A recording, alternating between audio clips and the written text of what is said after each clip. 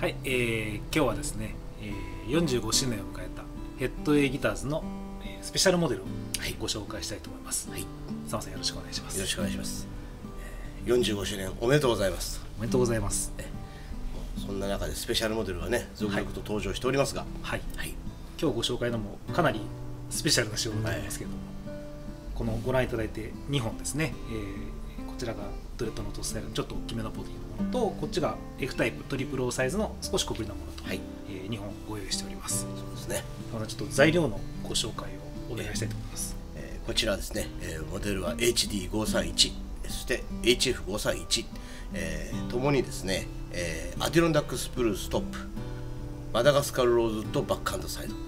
えーフィンガーボードと、えーブリッジはですね、えーマダガスカルローズウッドでネックの方は、えーアフリカンマホガニのワンピースを、えー使用しております。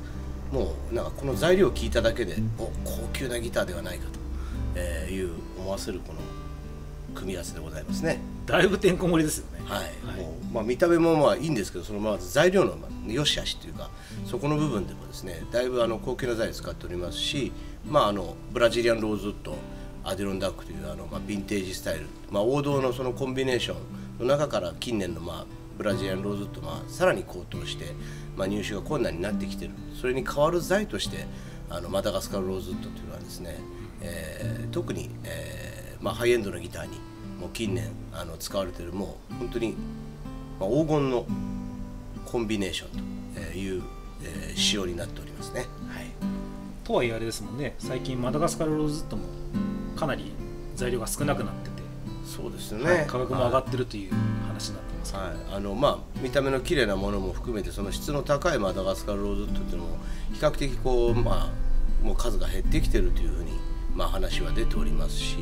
まあそういった中でもですねあのこの記念モデルとしてですね、えーこういうモデルを作って、えーまあ皆さんに、えーご紹介できるというのはですね素晴らしいことじゃないかなと思います。今回のこの限定モデルは本数がかなり少ない制作と聞いてますけど。はい、あの5本ずつ、えー制作されてますので、まあ、型両モデルで10本ですけども、あの5本ずつしかないというこの本当に少ない生産でしかもですねかなりのお値打ち価格にもなっておりますねこれは。はい。まあ、やっぱりあの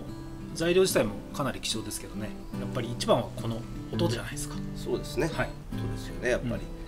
あのまああのブラジリアンローズウッドの流れから来ますのでまあ硬いあの張りのあるあのまあパンチの効いた、えーバックサイドにですねまあ粘りそしてまあレスポンスの良さ音の太さ、えーまあ申し分ないアディロンダックスプルースとのこのコンビネーションがですねなかなか持ってですねあの生の音自体もですねかなりあの大きく、えーいい鳴りを、しておりますね。この両モデルともそうなっています、はい、まあ、引き込んでもらうとまたねだいぶ感じが変わってくるんで。はさらに、はい良くなると思いますね、はい、で今回はそのスペシャルな材料にプラスアルファ、まあ、45周年ということで、はい。今までヘッドウェイが培ってきた技術がだいぶふんだんに取り入れられてるなという印象なんですけど。はい、あのネックもですねあのエクストラスリム U ネックという、えーまあ、ヘッドウェイ市場というかですね中では一番、まあ、スリムなネックの仕様になってるんですけど、まあ、レギュラーモデルと比べて、まあ、1ミリ程度、えーちょっとこう厚みを、えー削いである、まあ、グリップまあ握りやすい感じになっておりますしそれにも増してですねあの強度を保つためにですね、えーカーボンサポートという、えシステムでですねロッドの、え両サイドにカーボンが入っていると、まあ、これによってまあ音の立ち上がりですね、あのーまあ、広域のそのきらびやかさみたいなのも、えープラスされておりましてですね、あのーサウンドの面でのその向上そのネックの、まああのーシェイプですね、それで、まあ、意図するところのそのフィンガー系の、えー人たちも、えー視野に入れた、えーサウンドの、えー作りになってますね。まあスリムネックでこう少し薄めにって言ってもパッと握った感じこう極端に薄いっていうネックグリップじゃないですもんね。はい、あのーあ薄いなっていう感じよりはもともとの、あのーヘッドウェイの仕様で比較比較的あのしっかりしたネックグリップを持ってますのでそれが少しこうそがれてるっていう程度ですからあの決してその本当にわあ薄いなシンネックだなっていう感覚はないですね。はいまあ、そのスリムネックの新しい技術プラス中の内部構造もブレーシングが最近ヘッドへ確立したと言ってもいいと思いますけれども。はい。はい、桃さんのあのカスタムではもう最近よく採用されているあの34ブレーシングってやつですね、えー、それをこちらのモデルにも採用しております。まあそういうあの最新の技術というかですねあの培ってきたその今までの集大成的な部分が、えー、中内部構造とこのネックの構造と、えー、そこに全部ふんだんにこちらにこう織り込まれているそんなモデルでございます。まあ、基本的には、ね、あの D と F とこうスタンダードなボディシェイプながら、はい。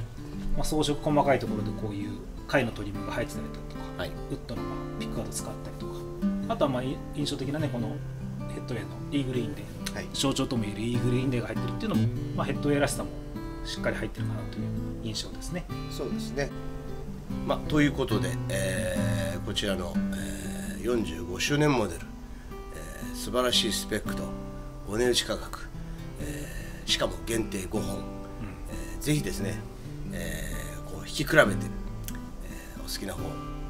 選んでいただければなと思います。よろしくお願いします